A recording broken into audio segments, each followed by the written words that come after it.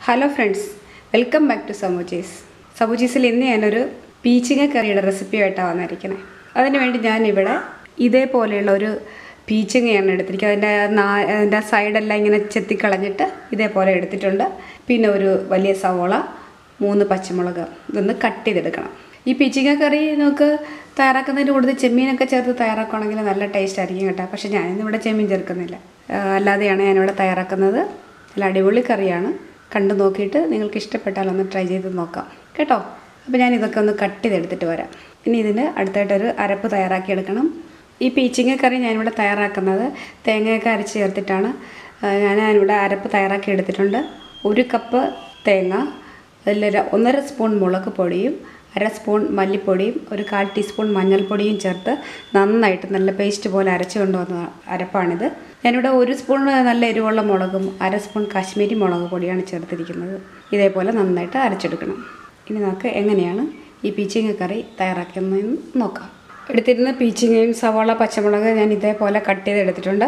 നമുക്കിനി എങ്ങനെയാണ് ഈ പീച്ചിങ്ങ കറി തേങ്ങയൊക്കെ അരച്ചിട്ട് ഈ പീച്ചിങ്ങ കറി തയ്യാറാക്കുന്നതെന്ന് നോക്കാം. പീച്ചിങ്ങ കറി തയ്യാറാക്കുന്നതിന് വേണ്ടി ഞാനൊരു പാത്രം വെച്ച് ചൂടാക്കിയിട്ടുണ്ട്. അതിലേക്ക് നമുക്കൊരു രണ്ട് സ്പൂൺ എണ്ണ ഒഴിച്ചു കൊടുക്കാം. എണ്ണ ഒന്ന് ചൂടായി വരുമ്പോൾ അര ടീസ്പൂൺ കടുക് ഇട്ട് കൊടുക്കാം.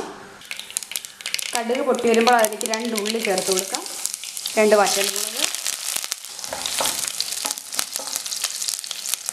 ഇനി ഇതിലേക്ക് നമ്മൾ അരിഞ്ഞു വെച്ചിരിക്കുന്ന സവോളയും പീച്ചിങ്ങയൊക്കെ ഇട്ടൊന്ന് വഴറ്റിയെടുത്തിട്ട് വേണം അരപ്പ് ചേർക്കാനായിട്ട്. അപ്പോൾ ആദ്യം ഞാൻ ഉള്ളി ചേർത്ത് കൊടുക്കുകയാണ് ഉള്ളി ഒന്ന് ചെറുതായിട്ട് വാടണം. ഉള്ളി ഒന്ന് ചെറുതായി വാടി കഴിയുമ്പോൾ അതിനകത്തേക്ക് പീച്ചിങ്ങയും പച്ചമുളകും ചേർത്ത് കൊടുക്കാം. ഇത് ഒന്ന് വാടിയതിന് ശേഷം അരപ്പ് ചേർക്കാം. പച്ചമുളക് കറിവേപ്പില ഉണ്ട ചേർക്കാൻ കേട്ടോ. ഇതെല്ലാം കൂടെ നന്നായിട്ട് വഴറ്റുക.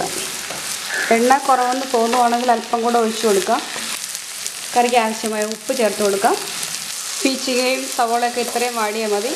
ഇനി നമുക്ക് അരപ്പ് ചേർത്ത് അരപ്പിന്റെ പച്ച ചുവടെ ഒന്ന് മാറ്റിയെടുക്കണം. ഇതിന്റെ നടുക്കോട്ട് അരപ്പ് ഒഴിച്ച് കൊടുക്കുക. എന്നിട്ട് ഇതൊന്ന് ആ, വഴറ്റി കൊടുക്കുക. ഇതിന്റെ കൂട്ടത്തിൽ ഒന്ന് വഴറ്റി കൊടുത്താൽ മതി. അപ്പോൾ ആ അരപ്പിന്റെ പച്ചിച്ച് ചുവയൊക്കെ ഒന്ന് മാറി കിട്ടും അതിനുശേഷം വെള്ളം ചേർക്കാവുള്ളൂ.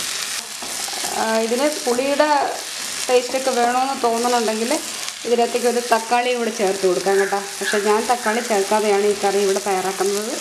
നല്ല ടേസ്റ്റാണ് എല്ലാവർക്കും ഇഷ്ടമാണ്. അരപ്പൊന്ന് അതിന്റെ പച്ചച്ചുവയൊക്കെ മാറി വരട്ടെ കേട്ടോ.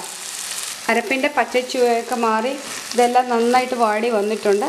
ഇനി നമുക്ക് ഇതിനകത്തേക്ക് ആവശ്യമായ വെള്ളം ചേർത്ത് കൊടുക്കാം. ഞാനിവിടെ മിക്സിയുടെ ജാറൊക്കെ കഴുകിയ വെള്ളം കുറച്ചെടുത്ത് വെച്ചിട്ടുണ്ട്. അത് അത് ഇതിനകത്തേക്ക് ചേർത്ത് കൊടുക്കാം. അല്പം കൂടെ വെള്ളം ചേർത്ത് കൊടുക്കാം. ഇത് നന്നായിട്ട് മിക്സ് ചെയ്തിട്ട് ഒന്ന് അടച്ച് വെച്ചൊരു അഞ്ച് മിനിറ്റ് ഒന്ന് കുക്ക് ചെയ്താൽ മതി. ഈ പീച്ചിങ്ങ ഒന്ന് വെന്ത് വരണം. അരപ്പായിട്ടൊന്ന് മിക്സായി വെന്ത് വരണം. അത്രയും സമയം കുക്ക് ചെയ്താൽ മതി. നല്ല അടിപൊളി പിച്ചിങ്ങ കറി ആയിരിക്കും. ഇതിലേക്ക് ആവശ്യത്തിന് വെള്ളമൊക്കെ ചേർത്തിട്ടുണ്ട്. ഇനി നമുക്കിതൊന്ന് അടച്ച് വെച്ചിട്ട് ഒരു അഞ്ച് മിനിറ്റ് കുക്ക് ചെയ്തെടുക്കാം. ഇതിന്റെ എണ്ണയൊക്കെ ഒന്ന് തെളിഞ്ഞ് വരുന്നത് വരെ ഇതൊന്ന് കുക്ക് ചെയ്തെടുത്താൽ മതി. ഫ്ലെയിമൊക്കെ അല്പം കുറച്ച് കൊടുക്കുക. മീഡിയം ഫ്ലെയിമിലോ അല്ലെങ്കിൽ ലോ ഫ്ലെയിമിലോ ഇട്ട് കുക്ക് ചെയ്താൽ മതി. കറി തയ്യാറാക്കി വെച്ചിട്ടൊരു അഞ്ച് മിനിറ്റ് കഴിഞ്ഞിട്ടുണ്ട്. ആ ഇവിടെ എണ്ണയൊക്കെ തെളിഞ്ഞ് നന്നായിട്ട് വന്നിട്ടുണ്ട്. ഇനി ഇതിലേക്ക് നമുക്ക് അല്പം കറിവേപ്പില കൂടെ ഇട്ട് കൊടുക്കാം. സ്റ്റവ് ഓഫ് ചെയ്ത് വെച്ചിട്ട് നമുക്കൊരു വിളമ്പുന്ന പാത്രത്തിലേക്ക് മാറ്റാം. തേങ്ങയൊക്കെ അരച്ച് വെച്ച് നല്ല പീച്ചിങ്ങ കറി ഇവിടെ റെഡി ആയിട്ടുണ്ട്. സാധാരണ എല്ലാവരും ഇതിനകത്ത് ഇഞ്ചി വെളുത്തുള്ളി തക്കാളി ഇതെല്ലാം ചേർക്കാറുണ്ട്. പക്ഷെ ഞാൻ ഇതൊന്നും ചേർക്കാറില്ല. ഞാൻ ഈ രീതിയിലാണ് ഇവിടെ തയ്യാറാക്കാറുള്ളത്. ഇവിടെ എല്ലാവർക്കും ഒത്തിരി ഇഷ്ടപ്പെട്ട ഒരു ഒത്തിരി ഇഷ്ടമുള്ള ഒരു റെസിപ്പിയായത് ഈ രീതിയിൽ തയ്യാറാക്കി കൊടുക്കുകയാണെങ്കിൽ എല്ലാവർക്കും ഭയങ്കര ഇഷ്ടമാണ് നിങ്ങൾ ഈ രീതിയിലല്ല ചെയ്യുന്നതെങ്കിൽ ഒന്ന് ട്രൈ ചെയ്ത് നോക്കുക. നോക്കിയിട്ട് നിങ്ങളുടെ അഭിപ്രായങ്ങളും നിർദ്ദേശങ്ങളും ഒക്കെ അറിയിക്കുക. വീണ്ടും അടുത്തൊരു പുതിയ റെസിപ്പിയുമായി കാണാം. താങ്ക്